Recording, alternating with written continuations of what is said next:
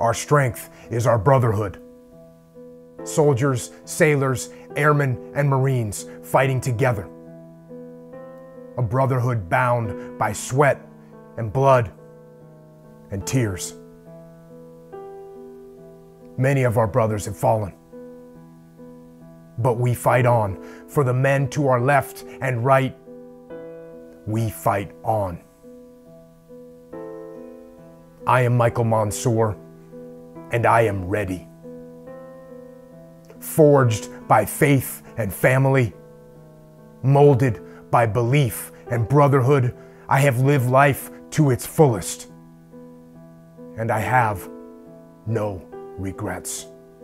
We can't bring Mikey back, but we can live in his memory, in his image, and uh, try to be the best human beings that we can be.